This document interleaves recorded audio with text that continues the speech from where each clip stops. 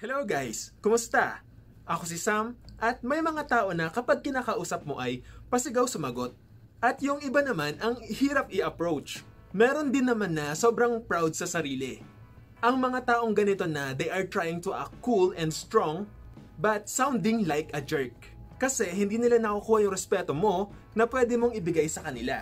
So today, isi-share ko sa iyo kung paano ka makakakuha ng respeto or maging respetado at kung paano din express ang sarili mo sa mabisang paraan nang hindi ka nagiging a-hole. Pero bago ko simulan, gusto ko lang sabihin na maraming nangyayari sa mundo natin ngayon. At kahit hindi para dyan ang channel ko, naniniwala ako na dapat alam natin kung paano natin i-express ang sarili natin sa tamang paraan. Sa mga frontliners at sa lahat ng taong gumagawa ng pagbabago at gusto ng pagkakaisa, I hope you are safe. Please remember to be smart and be respectful. Ang unang bagay na dapat alam mo para makakuha ka ng respeto ay dapat alam mo kung paano ipagtanggol ang sarili mo. Ang logic dito ay simple lang.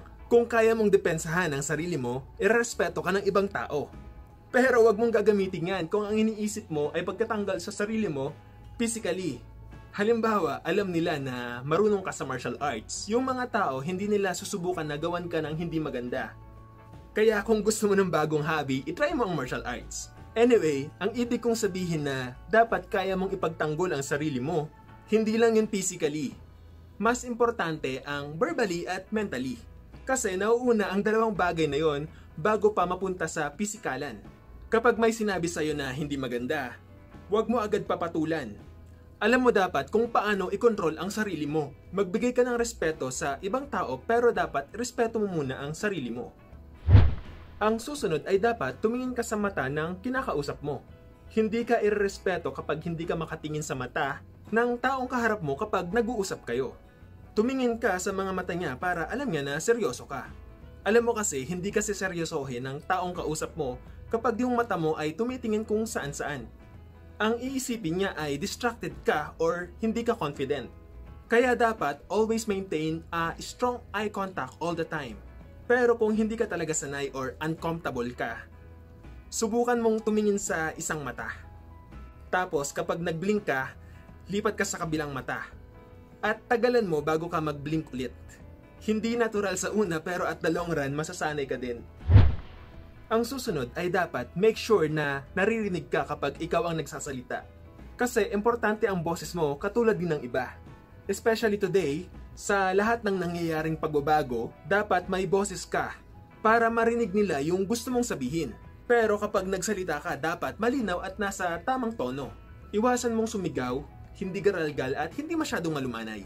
Dapat malinaw at nasa tama lamang yung lakas if ever gusto mong makipag-usap sa maraming tao or sa taong nakapaligid sa'yo. At kung merong nag-try mag-cut or magsalita habang nagsasalita ka pa, hayaan mo lang tapusin mo muna yung gusto mong sabihin bago ka huminto. Kung malinaw ang pagsasalita mo at naririnig ka nila ng maayos, hindi masyadong malakas or hindi masyadong mahina ang boses mo, makikinig sila sa'yo at hindi ka nila ikakat. Ganyan ka irerespeto ng mga tao kapag nagsasalita ka. Ang susunod guys ay kailangan mo mag-work hard para maging successful. Ito yung the best para irespeto ka ng ibang tao. Kaya dapat work hard at sikapin mo munang maging successful para sa sarili mo bago mo pagtuunan ang ibang bagay. Ang susunod ay dapat wag ka masyadong emotional. Kapag naging emotional ka, parang nagiging desperado ka at nakakapagsalita ka ng mga bagay na hindi naman dapat sabihin or masasakit na bagay na hindi mo naman sinasadya. Kaya dapat maging kalmado ka lang palagi. Maging kalmado anytime na may kinakausap ka. Ang pagiging kalmado ay makakatulong lalo na kapag may mga importanteng discussions. Kaya iwasan mong maging emotional kasi pwede ang mag-lead sa'yo para makagawa ka ng hindi magandang eksena or iskandalo. Kaya dapat always be calm. Be calm and cool. Ang isa pa sa natutunan ko na gusto kong i-share ay dapat wag mong gagawa ng pangalan ng ibang tao.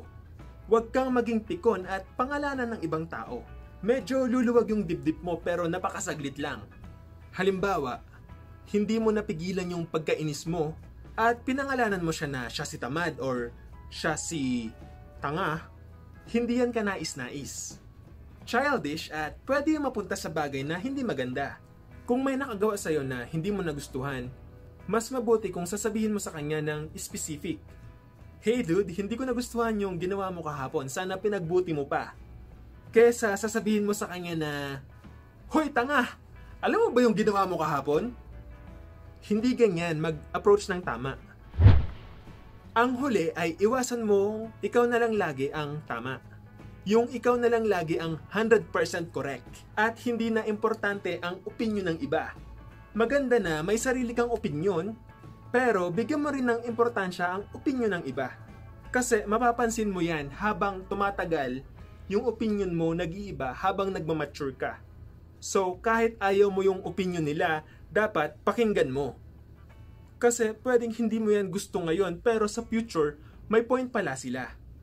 Kaya dapat pakinggan mo din yung boses nila and you will be respected ng mga taong nakapaligid sa iyo bilang patas na tao or a fair person. At that's it for today. At kung nagustuhan mo ang video na to, don't forget to smash that like button at syempre mag-leave ka din ng comment. Mag-subscribe para maging updated at see you sa susunod na video.